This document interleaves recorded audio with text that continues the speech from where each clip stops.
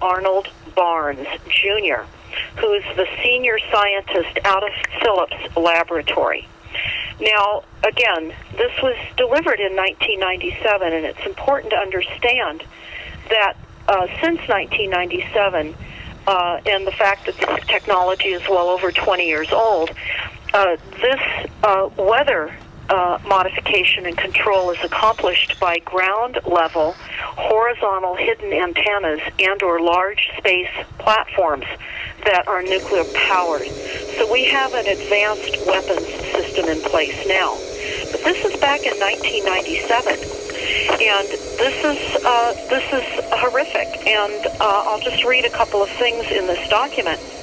They talk about the treaty issues on page three, and they say the UN Convention on the Prohibition of Military or any other hostile use of environmental modification, which went into effect October 5th of 1978, applies only to widespread, long-lasting, or severe environmental modifications. In other words, there was a UN treaty back in 78 that prohibited the continued use of widespread and long-lasting environmental modifications. They go on to say that local non-permanent changes such as precipitation, in other words, creating rain enhancement, and hail and fog and cloud dispersal are permitted under the UN Treaty of 1978. They go on on page four to talk about the weather modification capabilities back then. Um, degrade enemy forces, create precipitation enhancement, flood the lines of communication, and reduce reconnaissance effectiveness, decrease comfort level, and also decrease morale. Storm enhancement, which would deny operations. Now, we're talking about operations here right now in the United States and globally. Look at what is happening to Texas right now. This is weather weapons. This is war. Precipitation denial. We're seeing that now here in California.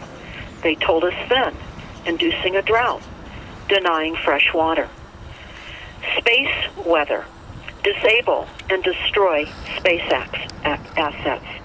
Fog and cloud removal or fog and clouds being used as concealment. They could do either. Now we have to think about that. There's huge profits in causing fog, um, and insurance companies make a tremendous amount of money in impairment of vision on our highways. And sadly, this is another method of market uh, increase and revenue. For those that don't know what HAARP is, it's an ionosphere heater that's part of these programs. So as they spray these particulates, it makes the atmosphere more conductive, more electrically conductive. These are incredibly huge and powerful ground-based facilities that they use to manipulate these particulates. So when you have the polarization of these particulates that's sensitive to radio frequency, they can cause those particulates to scatter out and cover the sky, or they can cause them to attract and come together and form big enough condensation nuclei to cause rain. Again, playing God with the weather with extremely toxic materials. That facility can put out about 3 billion watts of power, billion with a B. Uh, it's capable of heating the ionosphere to 15,000 degrees Fahrenheit over areas hundreds of square miles. What they're doing to our climate system is beyond science fiction, but it's fact. This looks like something from a science fiction movie. That's the same type of facility on a mobile platform. It's called SBX radar sea-based X-band radar for the same purpose, manipulating the climate system. This more elaborate figure, likewise on a steel plate, is also produced by vibration. The exciting crystal is attached to the upper corner of the plate. We use sand and lycopodium. The lycopodium moves to the center of the fields and takes up circular shapes. The sand forms the lines. Each material has its own special way of behaving.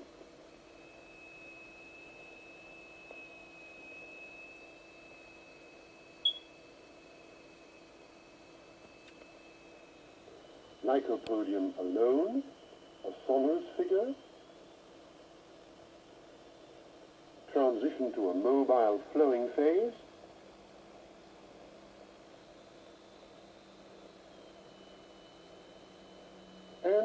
back again to the figure.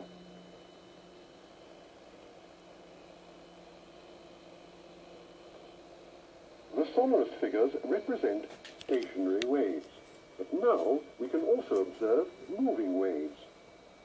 Here, the sand is flowing in a current.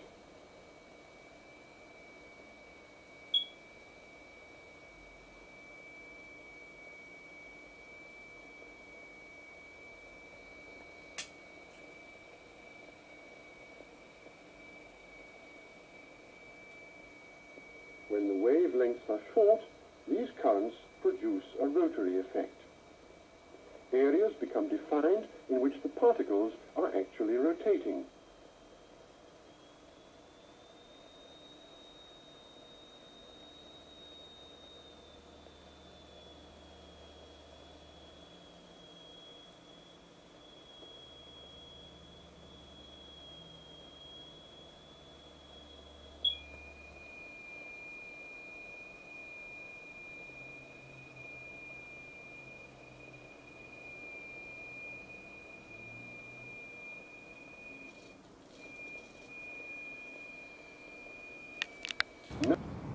Capability of, of actually smelling and tasting these things in the air. In fact, that's when I first woke up to this.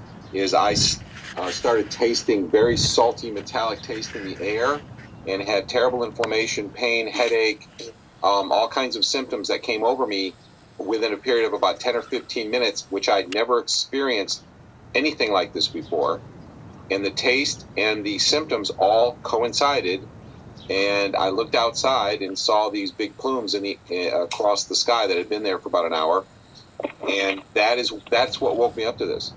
And I will tell you that uh, the scents and the tastes that we experience, those of us who who are sensitive that way, there are many. Um, around between seven or ten at night, and the time varies. Um, they'll throw something down, or something reaches ground level, I should say uh, around that time that causes terrible inflammation and tastes like a pharmaceutical drug mixed with some kind of really bitter herb taste. I don't know. I don't know what this stuff is, um, but it causes me to have dramatic inflammation. And I've seen other people have symptoms where they get nauseous, they get headaches, they get joint muscle pain. Some of those symptoms I have as well. Um, we have clouds in the sky we've never seen before. Almost every day, I'm seeing clouds I've never seen before. And NASA has been even named a few of these new clouds. Uh, and it's, it's really interesting, but NASA is a corporation. I want you to know that. Uh, NASA has also uh, conducted a research program in what they call metallized fuels. We're actually putting aluminum oxide right in the fuel because it has two atoms of aluminum and three atoms of oxygen. So during the combustion process, it releases all that oxygen and dramatically increases efficiency, but it leaves the aluminum in the air. We got things coming from sky down, and it's a huge, huge problem. Because as it comes down, what happens is a couple of things.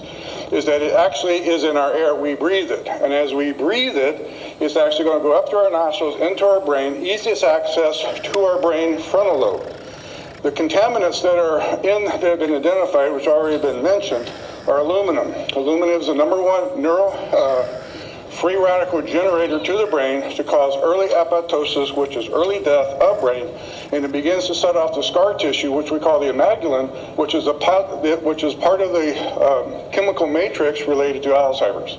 I'm a neurologist practicing in Redding for 17 years, and in the past five years, I've seen the number of patients with Alzheimer's disease, Parkinson's, and other neurodegenerative diseases tremendously increased, almost quadruple.